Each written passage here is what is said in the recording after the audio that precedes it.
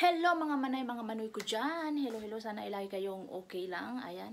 Ngayon sa video ito ay ipapakita ko sa inyo kung ano, kung paano magsuot ng tarha or hijab sa ulo. Yung sinusuot dito sa karamihan dito, lalo, lalo na dito sa Saudi Arabia, sa Middle East. Yung abaya na tinatawag tsaka yung hijab or tarha. Ayan, ito yung abaya natin mga manay, mga manoy ko dyan kailangan namin la, mga kababayan lagi magsuot nito dito. Kasi para takpan natin ang ating katawan. Para iwas tayo sa mga mata ng mga kalalakihan. Ito ang ano nila dito culture nila. Kailangan nakatakip ng abaya na mahabang kulay itim. Ito yung abaya ko. Ganyan isuot natin. Ito may clip siya rito. Gan lang. I-clip mo lang siya. Sa tuwing lalabas kayo, mga manay, sa mga kababayan kong nandito sa Saudi, require na talaga. May mga nagsasabi na hindi na raw kailangan mag-abaya, pero huwag po tayong maniniwala. Baka hulihin po tayo dyan ng mga tinatawag na mutawa na nanguhuli sa mga lumalabag sa kanilang kultura ba Ayan, na-clip na natin lahat. Ayan siya. Kung pupunta tayo sa supermarket, sa bangko, ayan, ay susuot. Kailangan nakasarado. Para iwas sa mga matang, hindi mo maakit yung mga lalaki sa katawan mo.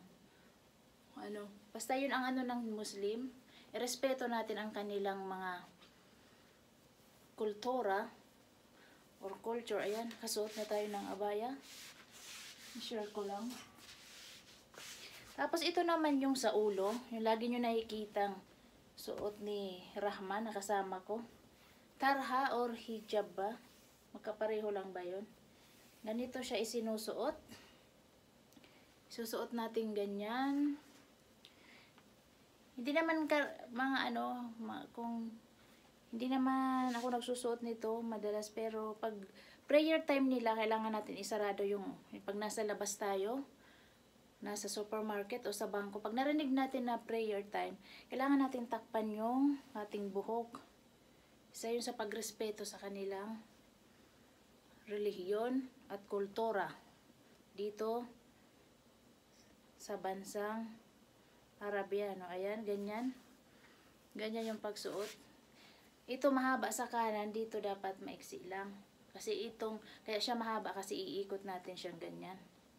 Ganyan lang pagsuot po niyan. Ganyan. Hahawakan natin dito. Tapos, iikot natin. Ganyan. Ipitin natin dito para hindi siya gumalaw. Ganyan lang pagsuot niyan.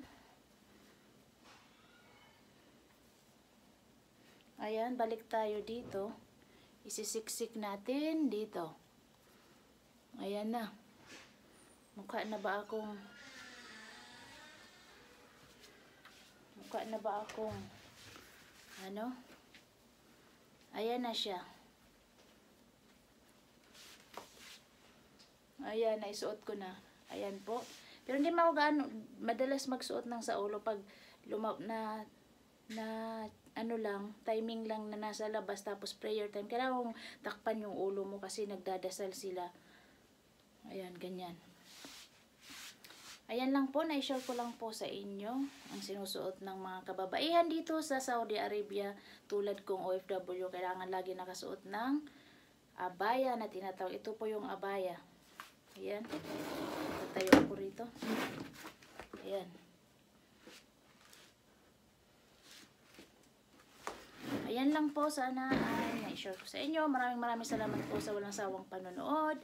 Ito po si Manay Eds. Bye-bye.